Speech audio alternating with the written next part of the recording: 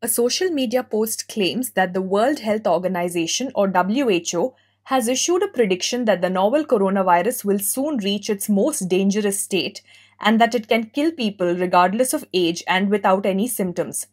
An internet search revealed that neither the WHO nor the government of India has made such a claim.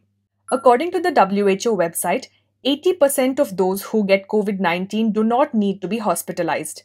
The Ministry of Health released a document in which they stated that the incubation period of the virus is 2 to 14 days. According to two recent studies, the virus genetics are stable and there is no large mutation in the virus. A study of COVID 19 data from Andhra Pradesh and Tamil Nadu also found that the mortality rate was 2%. As the WHO and the Government of India have not said that the coronavirus has now become so dangerous that it can kill a person in three days without symptoms, this post is fake. When you come across a piece of news that seems too ridiculous to be true, don't leave things to doubt. Run searches on Google and Yandex and weigh out the true and false of the situation for yourself by looking at the facts. But first of all, before you hit that forward button, pause.